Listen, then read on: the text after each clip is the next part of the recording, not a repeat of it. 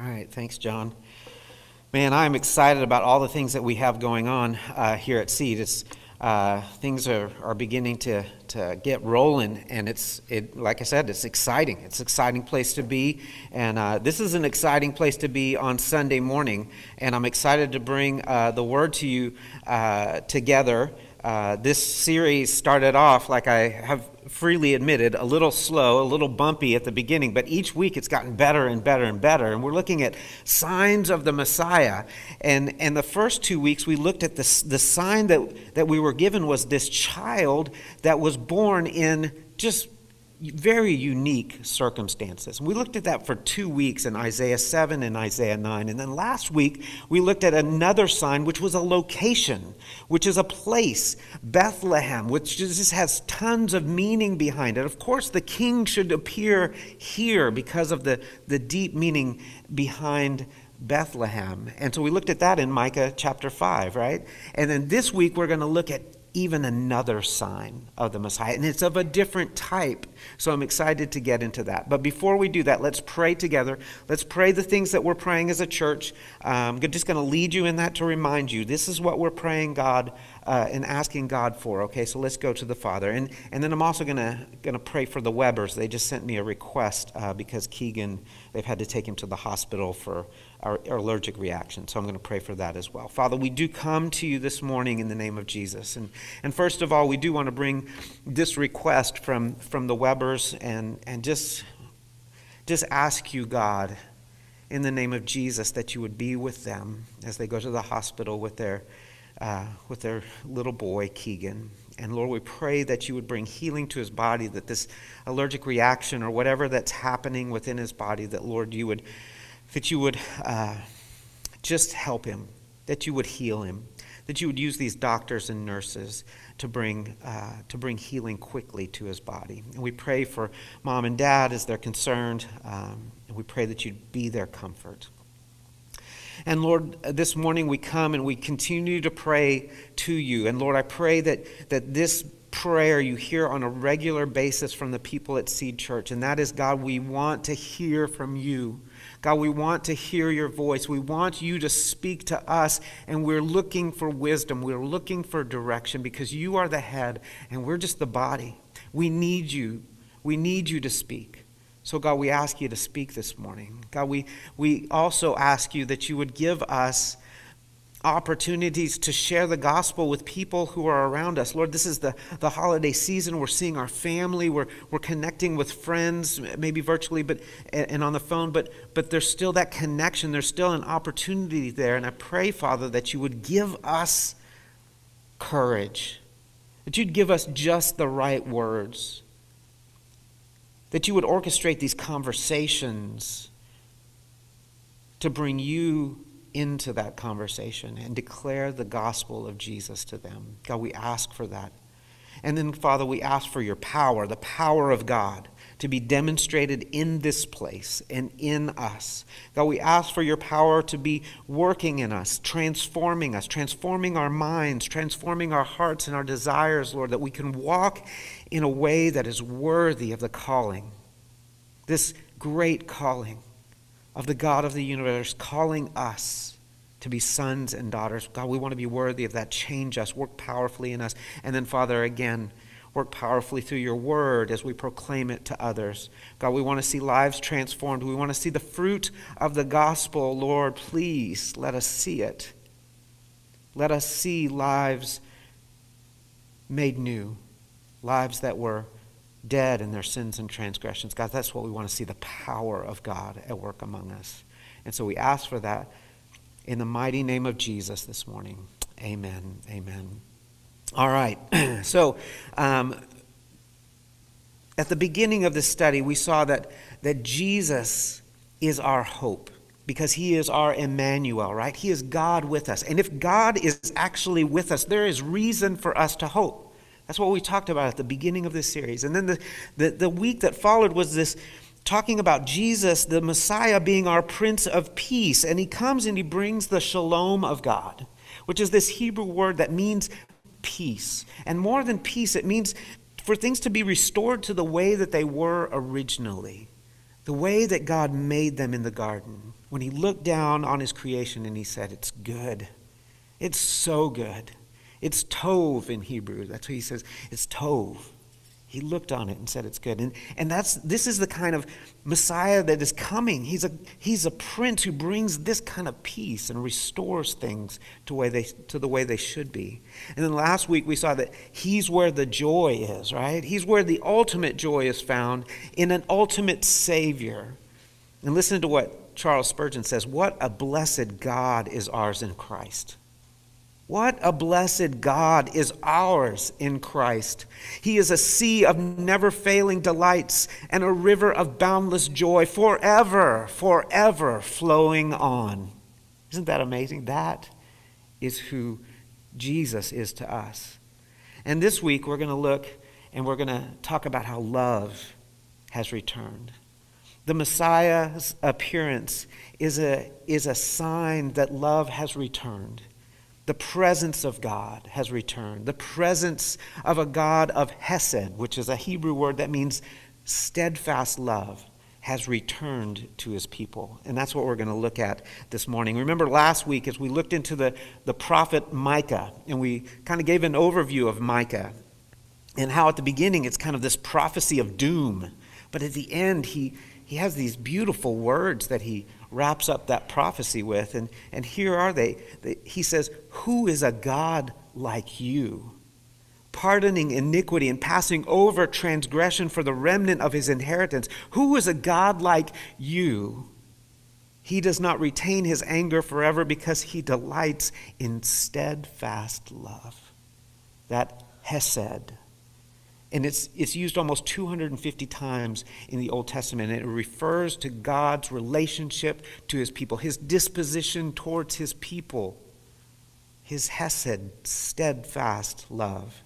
Now, we're going to start this morning in the New Testament, and we're going to work backwards for a little bit, and then we're going to jump back into the New Testament again. All right? So, this sign that we're going to look at this morning is unique, and, and it spans a time period greater than just the Christmas story. Okay, so it's it's a little bit more elaborate. It's a little bit bigger, and that's one of the reasons why I'm kind of excited about it this morning, because it includes us as well. So let's uh, turn to Matthew chapter three, verses one through three, and we're going to read about this sign. Okay. I'll give you a second to find it there. We're going to be flipping around in our Bibles today, which will be a lot of fun. So we'll be there, we'll be in Isaiah, and we'll be in Malachi today. Yeah, that's right, Malachi. We're going to be in your book today. All right, so here it is Matthew chapter 3, verse 1. In those days, John the Baptist came preaching in the wilderness of Judea Repent, for the kingdom of heaven is at hand. For this is he who was spoken of by the prophet Isaiah when he said, The voice of one crying in the wilderness, Prepare the way of the Lord and make his path straight. All right, so John the Baptist is who we're going to be looking at today as a sign of the Messiah. Now, John the Baptist is this messenger who runs ahead of the coming king and he announces his coming. He prepares the way for the king to come. And he calls to the people from the wilderness, right? He's out in the desert, he's outside of town. And he's symbolizing, and it should, be, should have been something that, that triggered the, the Jewish mind to, to think back to their time in the wilderness and their departure from Egypt during the Exodus. And when God called them out of Egypt and into the, to the wilderness, John calls them out to the wilderness. And he says, Depart from your sin because there's this great restoration that's coming. There's this great salvation that's coming. And it's greater than, than, our, than our forefathers uh, hoped for in the promised land. This restoration, this promise that's coming. And he tells them that, that it's the kingdom of heaven that is coming. And he calls uh, those waiting the Messiah, he calls to them. And he calls them not just in his words, but in a demonstration of his life and his appearance. Remember? John the Baptist, he's wearing camel skin and he's living out in the boonies. He hasn't showered for weeks. You know, he's eating locust and honey and berries and things that he can find, right? He probably lives under this little, you know, I don't know, a little hut or something. He's like a hermit out there. And he's demonstrating and in making this call in, his, in the way that he's living, he's saying, come away from society. Come away from the worldly values that you're, that you're in. It's comforts, it's status symbols. Come away, even from basic necessities, because there's something greater. There's something greater that I'm going to call you to. There's something greater that's coming. So we all know the story of, of John the Baptist. But what was his message, right? John the Baptist appears uh, in, in, in Mark 1 4, it says, John appeared baptizing in the wilderness and proclaiming a baptism of repentance and forgiveness from sins.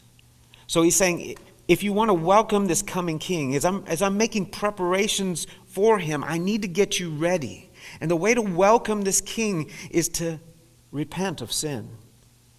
The way to get ready for this king is to, is to start showing actions that are befitting of rep- repentance. What is your life going to? It should look different because this king is coming. I, I think about that. I think about uh, that must not have been a fun message to have to bring. But you know what?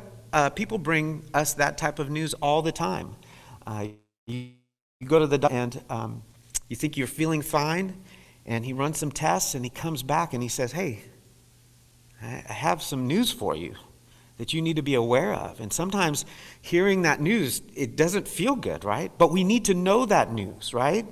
If, if we have a, if we have, well, you know, you, you have this, this, this, uh, maybe you have this, um, this thing inside your body that you're not aware of he can see it. He needs to let you know. And that's a good thing but it's hard it's hard to hear that. And i can imagine for the people who are listening to john it may be a little bit hard for them to hear his message.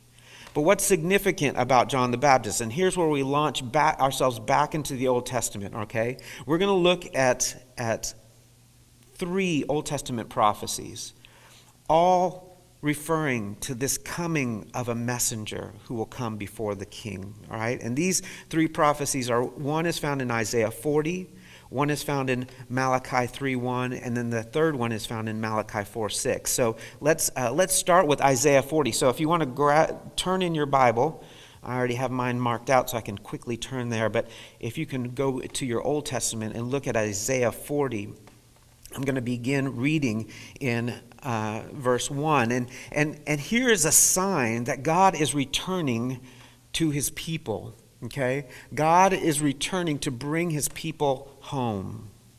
All right, and it starts this way Isaiah says, Comfort, comfort my people, says your God. Speak tenderly to Jerusalem and cry to her that her warfare is ended, that her iniquity is pardoned, that she has received from the Lord's hand double for all her sins. And then a voice cries in the wilderness Prepare the way of the Lord, make straight in the desert a highway for our God. Every valley shall be lifted up, every mountain and hill will be made low, and the uneven ground shall become level, and the rough places a plain. And the glory of the Lord shall be revealed, and all flesh shall, see it together, for the mouth of the Lord has spoken. Man, that is so beautiful. And what does it mean? What does this prophecy mean? This prophecy is, is going out as the people are in exile in Babylon. And this prophecy is a, a prophecy of comfort to them. He's saying, saying your, your time of exile is over. This prophecy calls Israel to remember how God led them out of Egypt.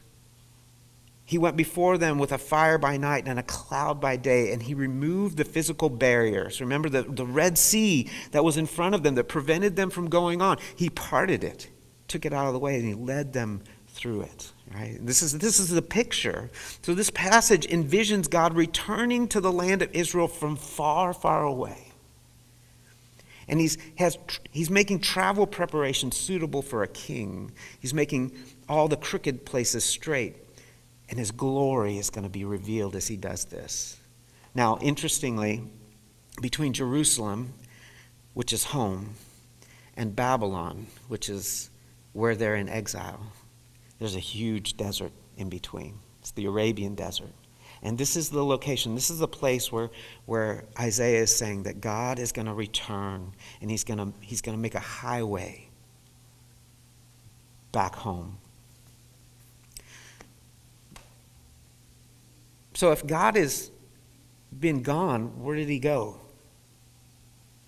Um, God chooses to allow his presence this, this splendor of his glory, his radiance, to remain in the temple with the people of, of God for centuries. And yet, after the Jews um, have determined in their hearts to continue in false, idolatrous worship, the presence of God did eventually leave the temple. And if you read Ezekiel um, chapter 10, you see this progression of the glory of God moving away from the temple. Now, Ezekiel is this other prophet, and he's, he's prophesying during the time of Jeremiah. And we talked about Jeremiah a little bit last week, how he told the people, hey, you know what? Uh, you were spared from Assyria, but if you don't turn, the Babylonians are going to come and they will take you off into captivity. And that's exactly what they did. In fact, they didn't like what Jeremiah said, so they actually threw him in jail uh, for a while, and he stayed there until the Babylonians came when the Babylonians came and, and, uh, and invaded Jerusalem, they found Jeremiah in a prison cell. So they let him go free. They said, Well, you must be an enemy of these guys who we just conquered, so we're just going to set you free. So he got to stay in the land. But Ezekiel, Ezekiel, different story, prophesying during the same time, actually got taken away into captivity. And there on the banks of the, I think it's the Chebar River, he sees this vision of God coming at the very beginning of Ezekiel. And God comes on, seated on his throne, and there's cherubim, and there's clouds, and there's this great platform, and these big giant wheels that are underneath it. And God comes in wrath there, and he sees a vision of that. It's terrifying. terrifying. And then Ezekiel, in Ezekiel 9 uh, and 10, Ezekiel gets transported from, actually, from Babylon. In the spirit, he gets transported to Jerusalem to see a vision of the temple. And he gets this tour of the temple and he sees all these, these uh, idols in, set up in, in, the, in the threshold of the temple, right at the front door. This, this idol to the goddess Tammuz. And, and he gets taken inside into the inner places of the temple and he sees all of these ab- abominations that the priests are doing. And, and it's just, it's just sad. So sad, the condition of God's temple.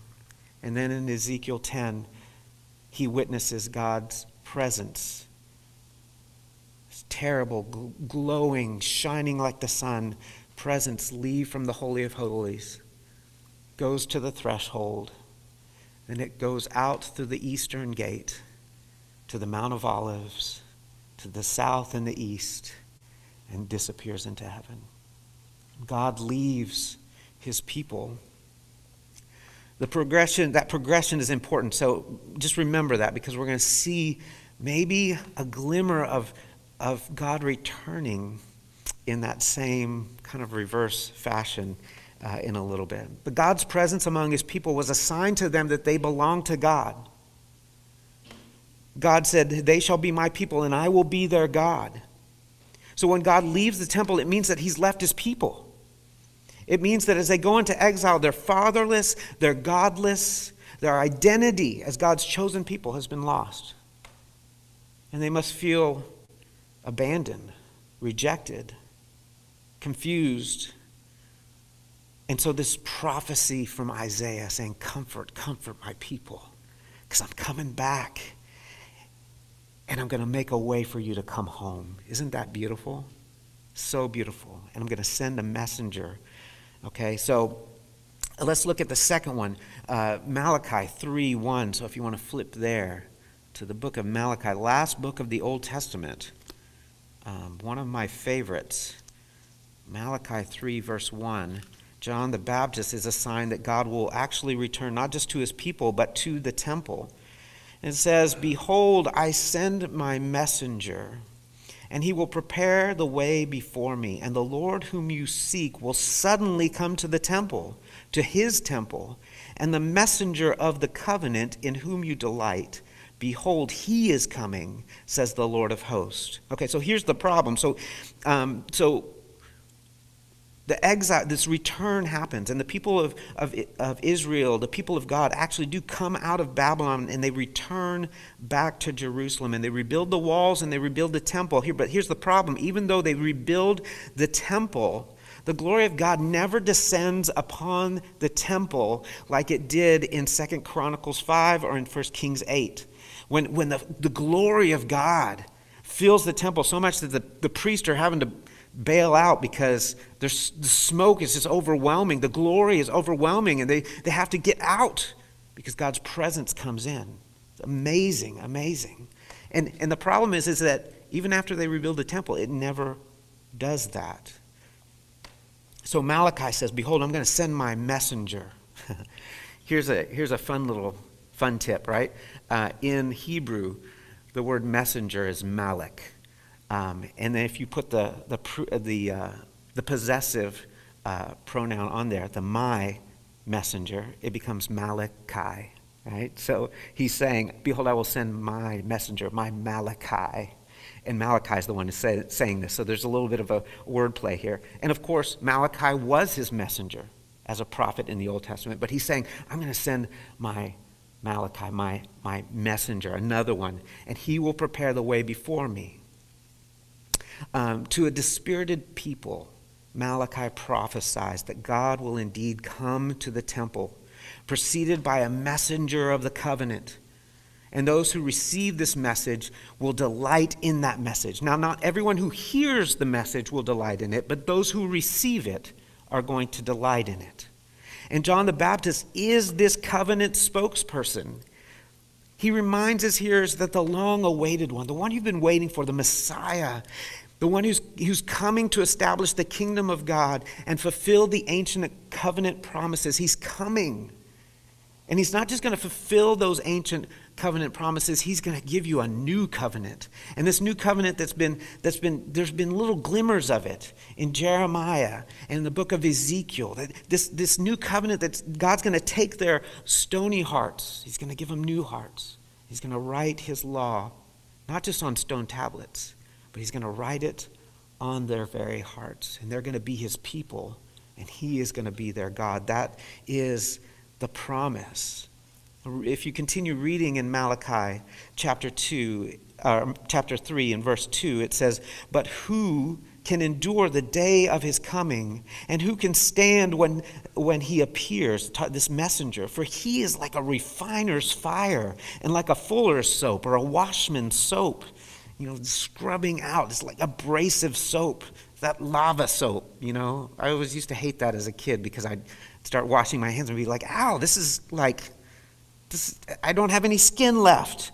This is the kind of, this is describing who uh, this, this, this messenger will come. This is his message, and he will purify the sons of Levi and refine them like gold and silver, and they will bring offerings in righteousness to the Lord. So, so awesome. So, so the message of this messenger, the message of John the Baptist, is one of a refiner's fire, a washerman's soap, an unpopular message, one that crushes its hearers with its convicting power and knocks out from under them their feet of hypocritical religiosity, which has become just commonplace among them.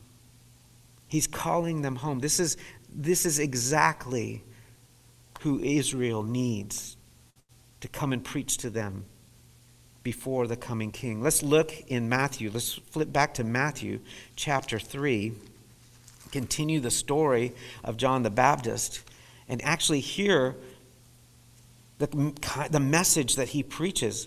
Starting in 7, but when he saw many of the Pharisees and the Sadducees coming to his baptism, he said to them, You brood of vipers. That's harsh. He says, Who warned you to flee from the wrath that is to come? There's wrath that is coming for you Bear fruit in keeping with repentance, and do not presume to say to yourself, We have Abraham as our father. I tell you, God is able from these stones to raise up children from Abraham. Even now, the axe is laid at the, at the root of the tree. Do you feel the urgency? And every tree, therefore, that does not bear good fruit is cut down and thrown into the fire.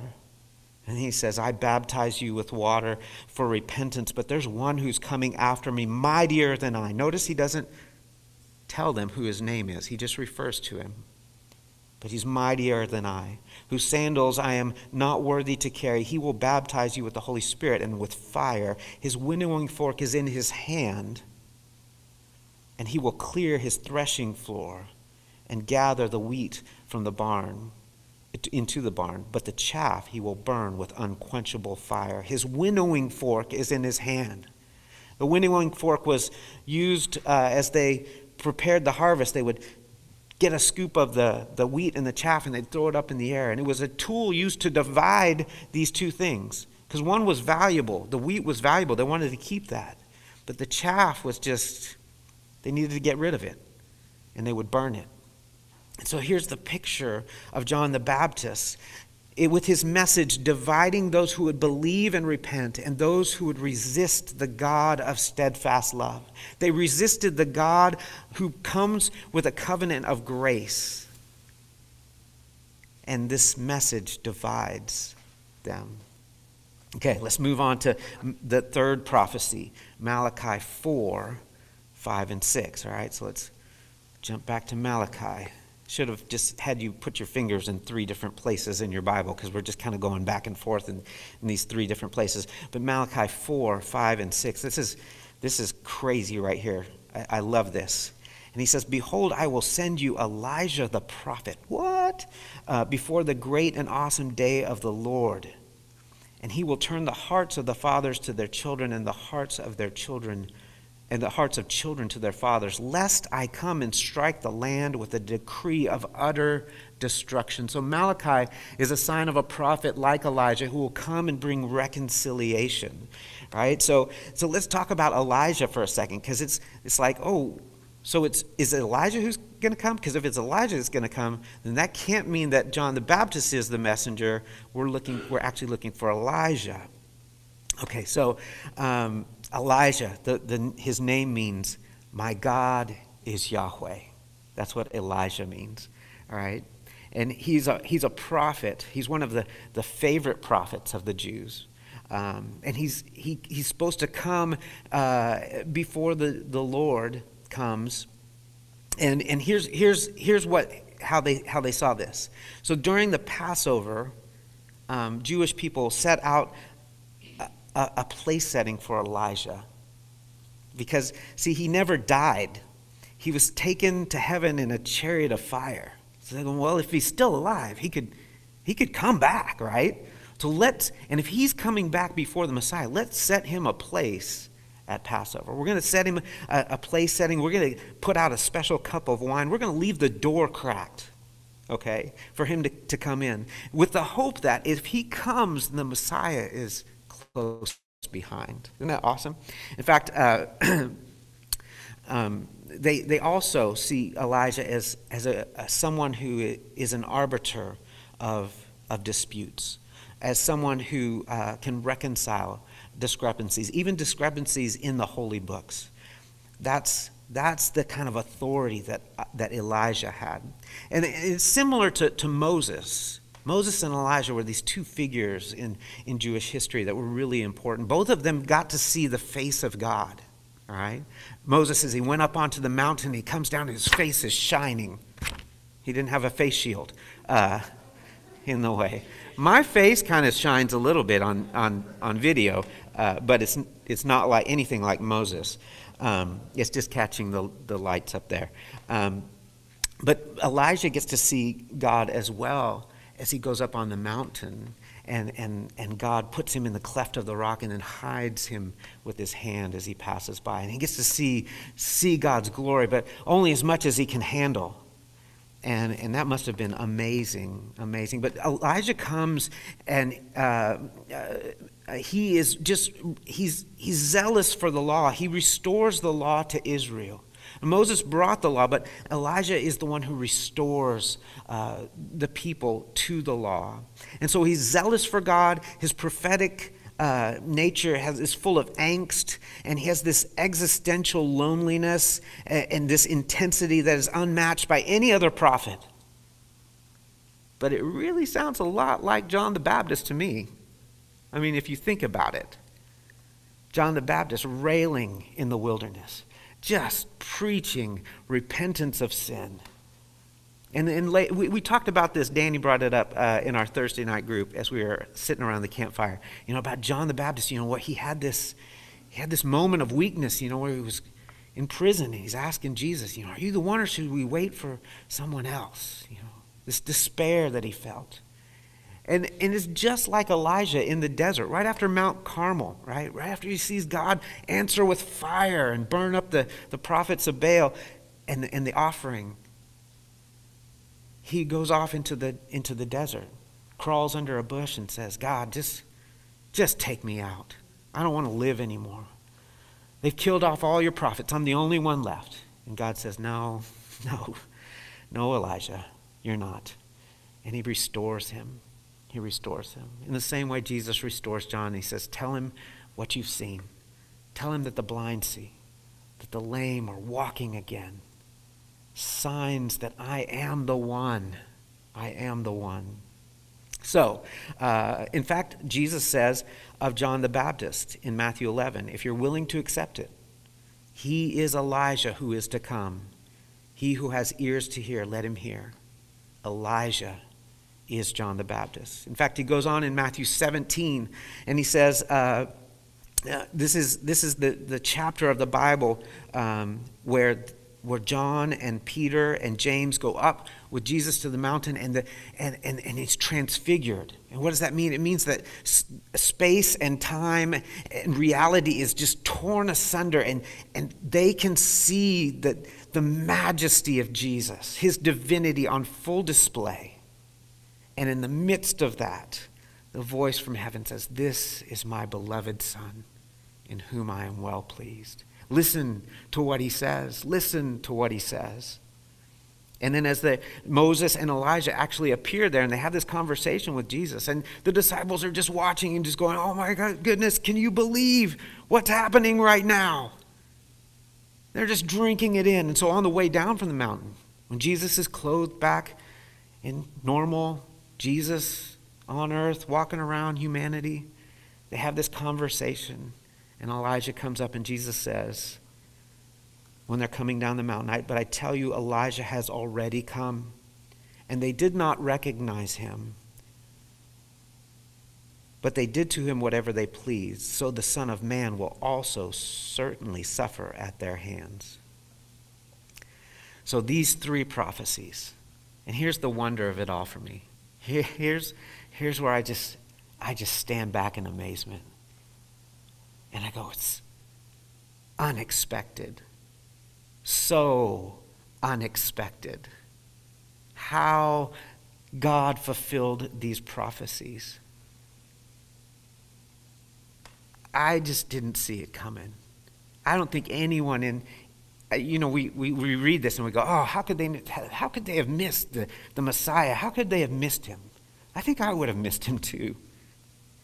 Because here's, here's the fulfillment in the New Testament, okay? John the Baptist does appear preaching repentance, okay? And he's like a crazy man, right? Living in the desert. People are curious to go out and see him. I think just because they're bored and they just want some type of entertainment. Let's go see the crazy guy out outside of town. He, he's putting on a good show. Let's see what he does tonight, right? This is not the picture of Elijah that the people expected. This is not the guy that they were hoping would show up for Passover meal and sit down at their table. He stank. Can you imagine him coming in and plopping himself down? They would have said, Excuse me, mister. That seat's for Elijah. You better get up, get out. Or let's talk about how God's glory is revealed in the person of Jesus, the Messiah. Right? God's his glory is revealed to shepherds in a field. And it's on full display. We sang last night in our carol time, we sang uh, Gloria in excelsis Deo right glory to god in the highest and this is this angel choir comes and the, it, the, the night sky is just lit up right? And the glory of god is there. Thousands of angels sing. Can you imagine how deafening the sound of their song as they declared the glory of god had come? Where does it come? It comes just outside of bethlehem to the east a place that's called Bayit Shechur, which is now known as the village of the shepherds. It's, a, it's an eastern suburb of Bethlehem. And, and in Hebrew, it means house of vigilance or house of the night watch. And very close to there are the fields that are attributed to Boaz, right? The kinsman redeemer of Ruth. So in this place, come, the glory of God is, is, is just proclaimed to a couple of guys and their sheep. Unexpected. Or at his baptism. His baptism, he's, he's baptized by John in the river, and a, a dove comes down. Doesn't happen for anybody else except for this guy who shows up one day, baptized by John, and this dove comes out of heaven. And this voice declares. Everybody hears it. This is my beloved Son. This, this is the Son of my love, with whom I am well pleased. It's in Matthew chapter 3. Or, like we talked about the transfiguration, three guys get to see it. Three guys hear the voice say, This is my beloved Son. Listen to him. It's not like the glory of God isn't revealed, but where it's revealed and to who it's revealed, we didn't see that coming. I thought he'd tear open the sky. The mountains would just melt before him. I mean, he could, he could have done that, but he didn't. And then this third way that this New Testament prophecies are fulfilled God does return to his temple, incarnated. Okay? Remember, he leaves on a throne with cherubim and clouds and smoke, this platform and these giant wheels spinning.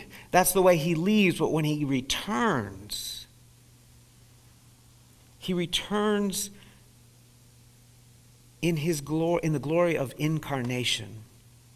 He comes just like us. He's he's humbled himself. He's taken on the form of a servant. He's become just like us, lowering himself to be our perfect high priest, offering the perfect sacrifice of himself. Can you see how they would have missed his coming? It's completely not what they expected. But he does come back to the temple. Shortly after his birth, he's dedicated in the temple. He grows up. His parents take him back to the temple. They lose him for three days and find him where? In his father's house. And then just before his crucifixion. He enters from the Mount of Olives through the eastern gate, the golden gate, the gate of mercy. Right where his presence departed, he comes back. And he comes back not riding a war horse, but he's riding on a young donkey. See, love is returning. And the presence of God, the Hesed, the steadfast love, is returning to his people. Now, listen. So, the first signs that we looked at this child born in unusual circumstances. Two weeks we talked about that. Isaiah 7, Isaiah 9. Then we looked at the location, the sign. The location is this is where he's going to come. Micah chapter 5, verse 2. And this week, the sign is a man, it's a messenger. John is a sign of the Messiah. Now, think about that. Think about that. John knew this, and he fully embodied it. John goes before the Messiah, not to point to himself, but to point to Jesus. He doesn't mention him by name, but he refers to him as the one who comes after me, the one you've been waiting for. and I'm merely the one who prepare, prepares the way. He must increase, I must decrease. And wait till you see who I'm preparing the way for. He's going to blow your mind. And people looked at him like he was crazy. He was bizarre, a spectacle. People laughed at him. But he didn't care. He knew his life was meant to be a sign. So I wonder, I reflect that on myself. I think about John, this man who fully embraced this calling, this calling to be a sign of the Messiah. And I ask myself, am I like that? Do I deliver the message of God with urgency, passionately, and joyfully? Or is this what we're doing just some sort of superficial religion? that tries to be cool or tries to be relevant and that serves my insecurity because I want to be liked by you I want to look good. I want to be the hero of this story. Spurgeon says superficial religion is always fashionable because it doesn't require self denial. Let me say that again. Superficial religion is always fashionable because it does not require self denial. Is that what I'm about? Or do I want to exalt the message and the one sending the message? Whatever it takes. Whatever it takes. Man, Jesus, Jesus is the hero of my story. He is the hero of my life. He is the hero that I've been waiting for. Now, look, I, I feel like I'm, I'm getting to know you guys, right? In fact, uh, I practiced my sermons on Saturday night, and I was here w- way late, like midnight last night. And as, i as, I'm, as I'm preaching to this open room, I'm looking around, I'm seeing your faces, right? Because I'm, I'm getting to know you, know you by name, know your stories. And, and as I get to know you, I, I'm growing to love you. Because every good shepherd is, needs to love their sheep. And man, I love you guys so much that I want you to experience the steadfast love of God. And I want you to know the God who came for you. He came to lead you out of sin. And He's removing the barriers for you. He's going before you and He wants to establish a dwelling place with you and in you. But repentance is part of that. Repentance is part of the message that I declare. It's the message that you need to hear. It prepares your heart for the coming of this king. But it's not just me. Because the king has come, the Messiah has come, and he is looking for messengers to go out and this is the mission of the church. And oh, I just long to be a part of a church where this mission is something that we do, that we stay focused on. watching uh, Star Wars, the, the first movie uh, with Isaac uh, yesterday. And uh, as, they're, as they're going into the trench. Have you noticed how long the trench lasts before they get to the place where they're supposed to shoot the photon torpedoes into the Death Star? It takes forever for, the, for them to get there. And, and they, the question came up, why don't they like, why don't they just like go in like right where they're supposed to shoot the thing? Why do they have to, why do they have to fly? And the guy's like, stay on target, stay on target, stay on target. You know, it's like, and that's how I feel. That's, that's how I feel about our church. It's like, stay on target. So, what, what is our response to our culture? And whatever madness or craziness is happening, what's, what's the response of the church? The response of the church is that we have a mission and we're going to do it. We're not going to be distracted. We're going to go into all the world and to make disciples, baptizing them in the name of the Father, the Son, and the Holy Spirit, teaching them all that I have commanded you. Teach them to obey it. In 2 Corinthians 5, Paul says that he has made us ambassadors for Christ. that Christ is actually making his appeal through us. He, the message that God is calling to the world is that the king has come. And he's saying, Give him your allegiance. Now, just as a side note, and I've gone over a little bit, but here's how I'm going to wrap up Isaiah 40, such a beautiful passage. And I have prayed this passage over people, people who are wandering, men and women who have wandered, children who have wandered from their faith. And I've prayed, I've poured out my heart to God, and I've asked Him to come for them. And I've begged Him to remove the obstacles from before them and to lead them home. I've asked Him to send me before them and to call them to repentance. And I think, man, if I can leave you with anything, it's man, that passage is powerful. Pray it. Pray it for those family members that you have who don't believe. Pray it for sons and daughters. Say, God, go before them. Remove the obstacles. Make the way clear and call them home. And send me, if, if needed, send me. I end today like I always end. Today, if you hear his voice, don't harden your hearts as in the rebellion. Just going back to that time in the, the, the wilderness as the children of Israel wandered. They complained. They heard the voice of God, but they resisted it. And he's saying, Don't be like that. So the question is Is he calling you today? Is God calling you? Is he speaking today? And if so, what is he calling you to? As you listen to his word, what is he calling you to? And what are you going to do? We're going to talk about that in a moment, but let's pray. Father, thank you for your word. Man, it is just so packed with stuff. And, and God, as we read about John the Baptist, this sign, this person who was a sign, God, we would pray that you would make us signs, that, you, that the King has come. And now we are his church. And you've given us a mission, mission and you've sent us out. And God, I pray that we wouldn't be comfortable and stay at home. I pray that we wouldn't be comfortable and, and, and worry more about uh, our the things of this world that, that distract us, even from our basic necessities, God.